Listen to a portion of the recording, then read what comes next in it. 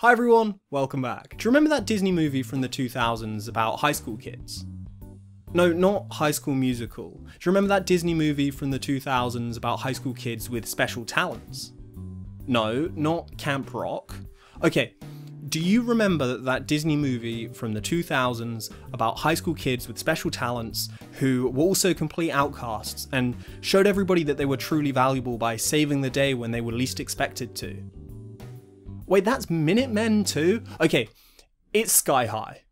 I'm talking about Sky High. That's right, today I'm talking about Sky High. Not a Disney Channel movie, but a theatrically released Walt Disney Pictures movie. Released about six months before High School Musical took high school movies into the stratosphere, Sky High was already up there, because it's a movie about a high school that floats in the sky. I loved this movie when I was a kid, and while I don't remember whether or not I actually went to the cinema to watch it when it was released, I did have the DVD, and I watched that so many times. And so today, I decided to revisit Sky High to see if it really is that good all these years later. The movie follows Will Stronghold, the son of the two most famous superheroes in the world, the Commander and Jetstream, as he tries to navigate the toughest challenge a hero must face high school. But not just any high school, as the movie centers around Will's incoming semester at Sky High, a school exclusively for superheroes. So the movie opens in the most standard way that any teen movie opens, with the main character getting ready for school, just as any normal teenager would, by already being fully dressed and lifting weights in his room. This would be the point in the video where, just like when I covered Camp Rock,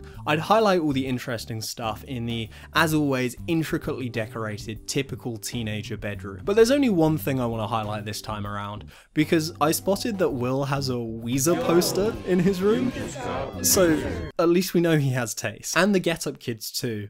And to be honest, I think the fact that both of them are in this 2005 kids movie probably says more about my music taste than it does about Will. So the big thing about Will is that, surprise surprise, he doesn't have any superpowers. And this is a secret that he's currently trying to hide from his parents, especially his dad who has huge expectations for him. And somehow in the last 14 years of Will's life, just hasn't figured it out yet. So way to be present, dad. I know that every kid thinks his dad's invincible, and I nearly am, but who knows? Maybe the next time I punch a meteor hurtling toward Earth, I'll be the one who shatters into a million pieces. Right. Thanks, Dad. We then meet Will's mum and Layla, Will's childhood best friend whose superpower is controlling plants. Josie, it's the other one. Wait, you have another phone?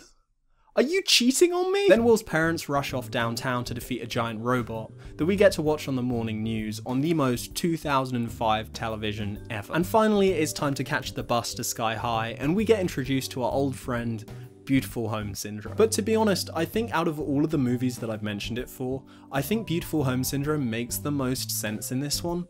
Because not only are Will's parents both the most successful superheroes on the planet, they're also pretty successful real estate agents.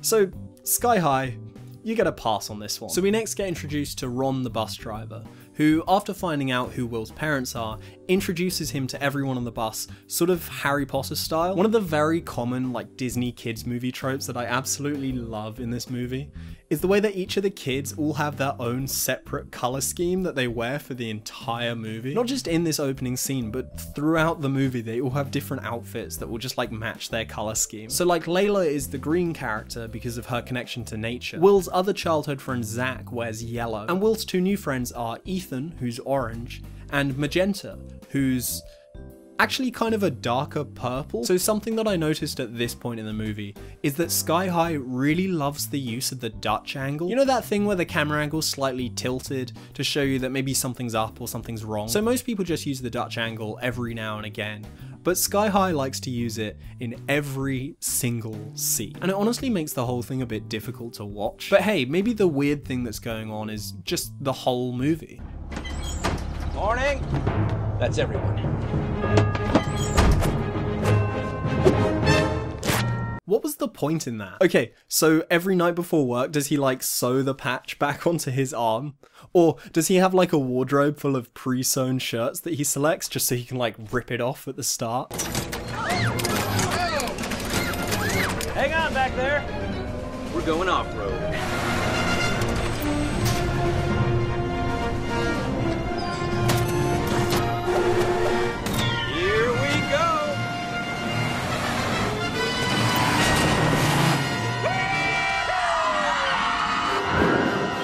That's the movie, they all die. So the new freshmen arrive at Sky High, the floating school in the air for superheroes. And okay, I know I scrutinize these kids' movies way too much, but the bus driver, Ron Wilson, says that Sky High is in a secret location only known to a select few people, like the bus drivers, to keep it safe from villains. So, why, not one minute later, are there some high schoolers that just fly in?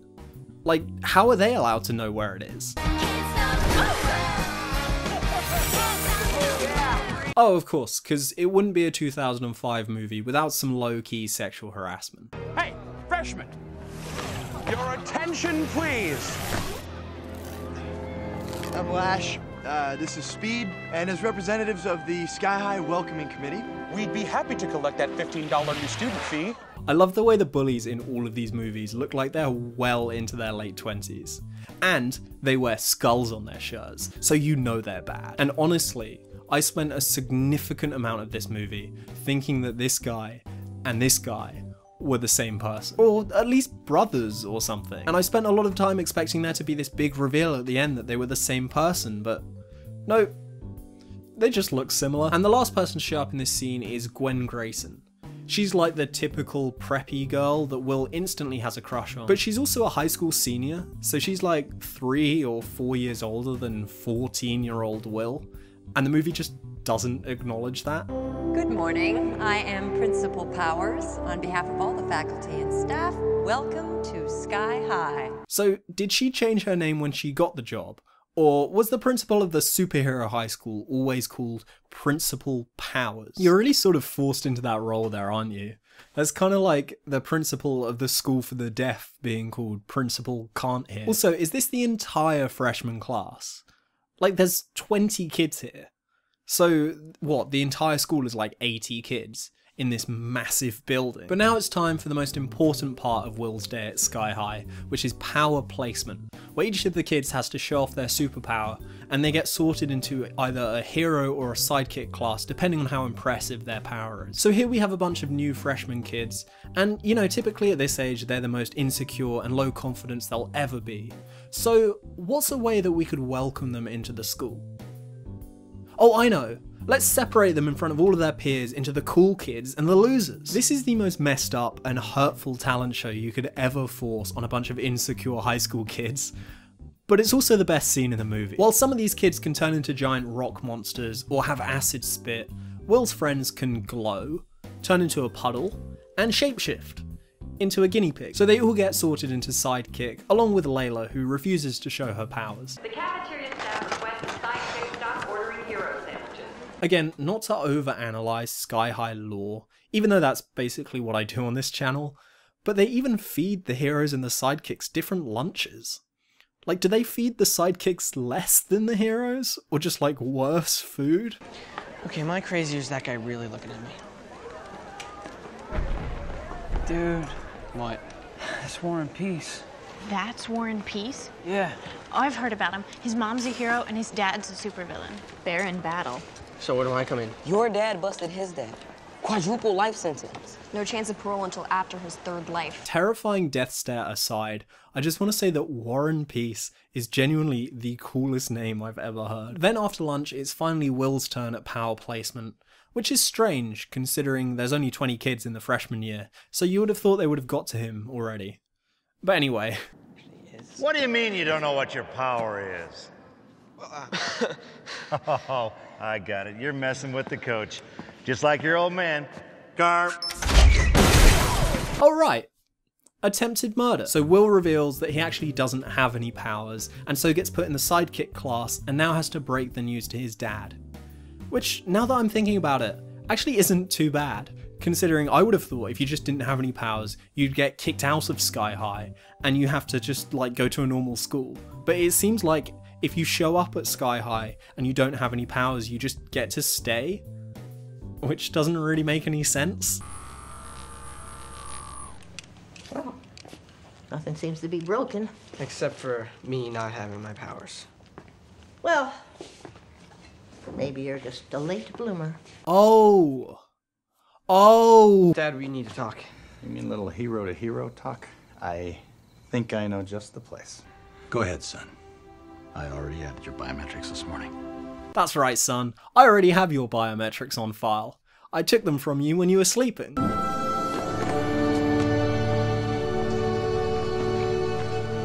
way. You got a pool table?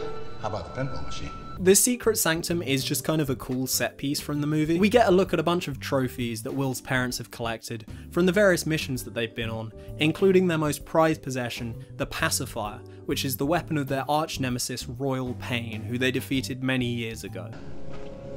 Now, what was it you wanted to tell me about? Oh, um. Well, you see, Dad, I don't actually have any powers, so everything you've shown me in this sanctum is completely worthless, and all of your hopes and dreams are pretty much shattered now. Dad, I'm gonna kick your butt in pool. Oh yeah, that too. But Will ultimately keeps his secret from his dad for now and begins his sidekick classes. Sorry, his hero support classes, taught by his dad's former sidekick. Sorry, hero support. Yes.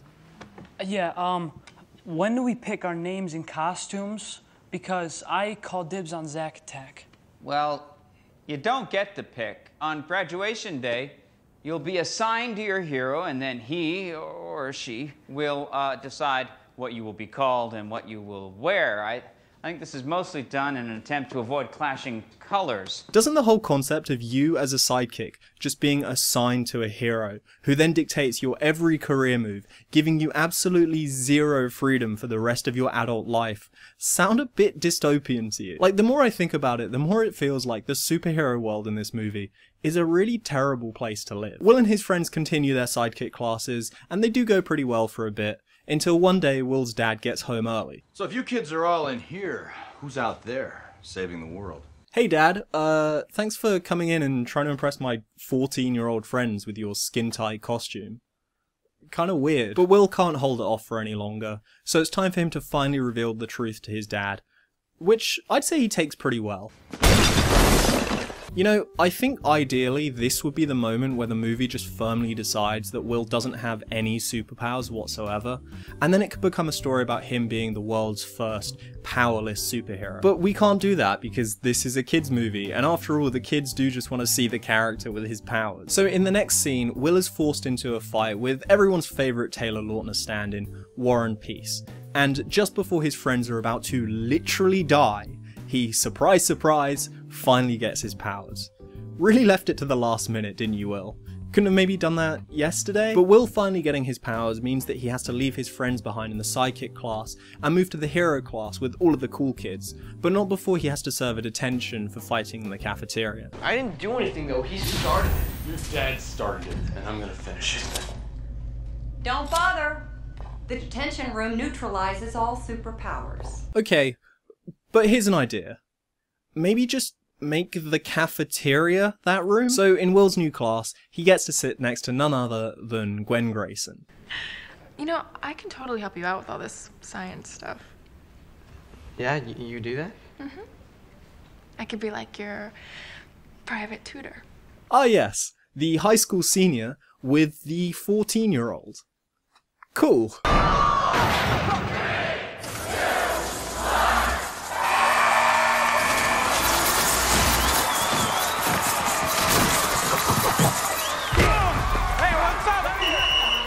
Save the Citizen seems like the absolute coolest game ever, but also really violent and really, really dangerous for a group of teenagers to be playing. Like, powers or not, just take a look at that and try and honestly tell me that no student has ever died playing Save the Citizen. Maybe this is why the school population is so small. Will and Warren Peace team up to fight the two bullies and end up winning.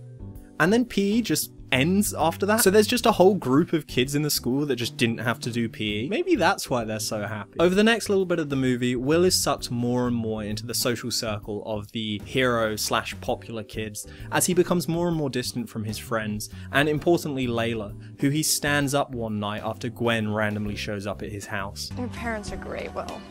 I'm so glad they're coming to homecoming. now, if I could only find someone to go with. You mean you don't have a date for homecoming? Well, I've gotten a few offers, but I turned them down. I'm just waiting for the right guy. Oh. You, Will. He is 14.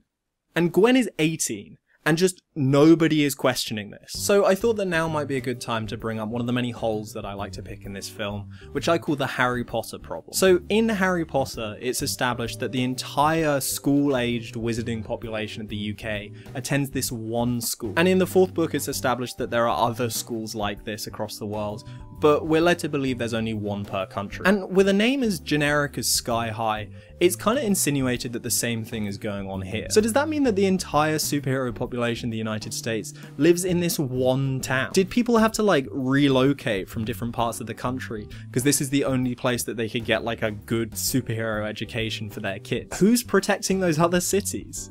Or are there just like loads of schools across the country that are all named Sky High? A whole thing then ensues where Layla and Will grow further and further apart, with Layla trying to use Warren to make Will jealous, and Gwen strengthening her grip on, again, a 14 year old boy. There's a problem with the homecoming decorations. Penny forgot to order the fog machine, so I might have to build one myself. Do you think the committee could stop by? Oh, I don't know, because uh, my parents are on a distress call and they won't be home till late, and I'm really not supposed to have anyone here. Hey, it's cool. I was just hoping we could spend a little more time together. Look, I'll put it up on the screen for you. 14 years old. And of course, it wouldn't be a high school movie without the party scene.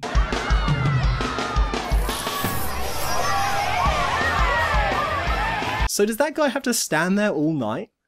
Like, is he allowed to go anywhere? I love how the high school party contains absolutely zero alcohol, because after all, this is still a kid's movie. Hey, Will, could you go get me a Diet Caffeine-free orange soda? Bro, Will's party was just crazy last night. I got so wasted on Diet Caffeine-free orange soda.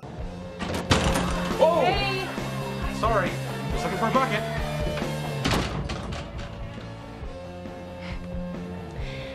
I wish there was somewhere we could go to be alone. Will takes Gwen into the forbidden secret sanctum, where their relationship becomes even more problematic. Then Layla shows up at the party, which leads to her and Will having a big falling out, and Will finally realizing the error of his ways, dumping Gwen before the homecoming dance, and kicking everyone out. And now it's the night of the homecoming dance, where even now all of the characters are still wearing their colour schemes, but just in formal wear, and Will makes a shocking discovery. That's weird.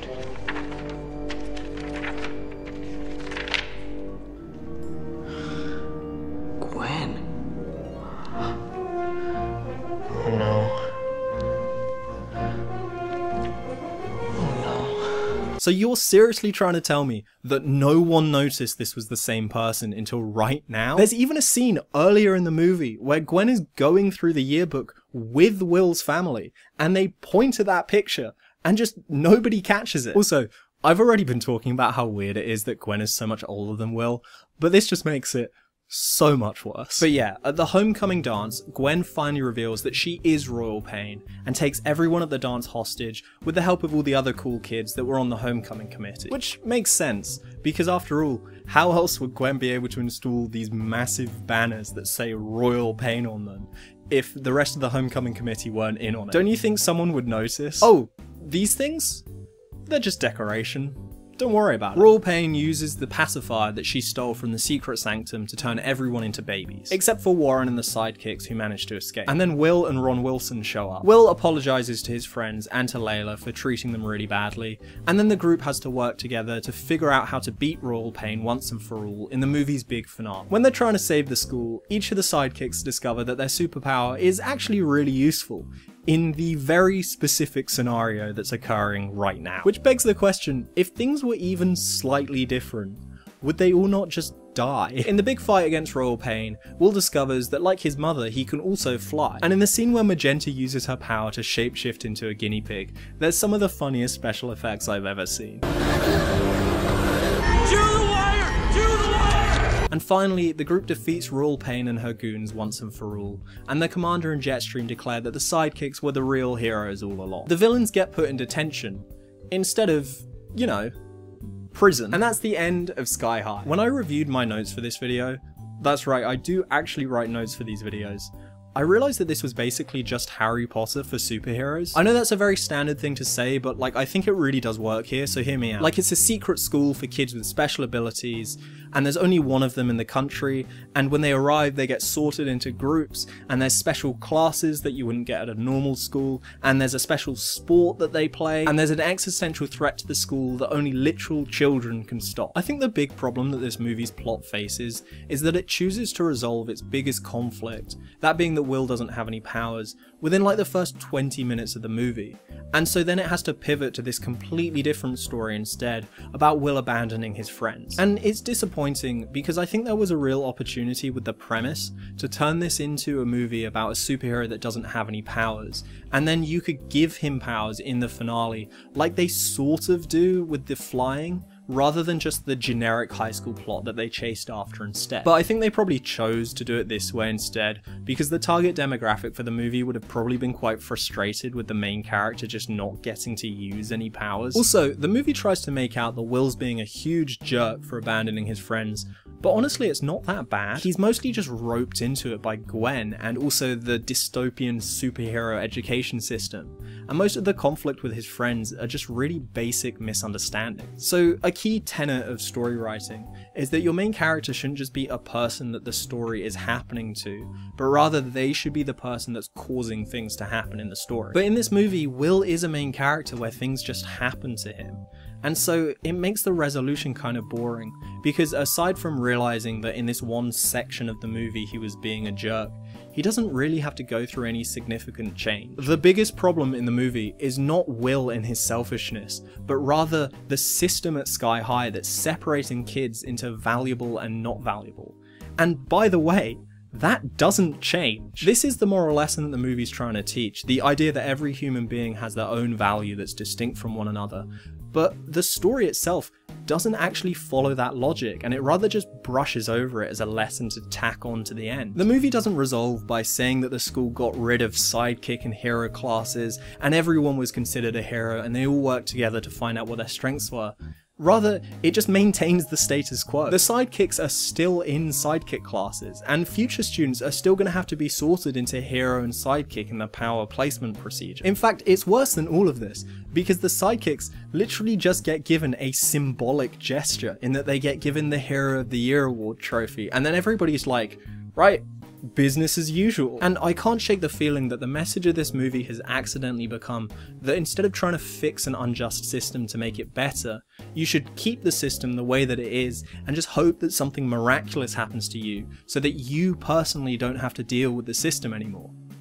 So this movie is just capitalist propaganda. no, but joking aside, this movie's story definitely didn't go down the path that I hoped it would, but it's still a fun movie regardless. When you strip away all the superhero elements, it is the most generic high school movie ever, but it's by applying those superhero elements to a standard high school movie formula that it becomes a fun movie to watch. I criticized it a lot because the structure of storytelling is just something that I personally find really interesting. But I do think that for what it is, it is a good movie. There's pretty much zero downtime in the entire movie, and I know that because aside from my first video, this is the longest script that I've ever written for a video on this channel, and it needed to be that because there's just so much to cover. But anyway, I hope you enjoyed hearing me talk about Sky High as much as I enjoyed covering it. If there's something else you'd like me to cover, please let me know. If you're new here, please consider subscribing, and I'll see you next time.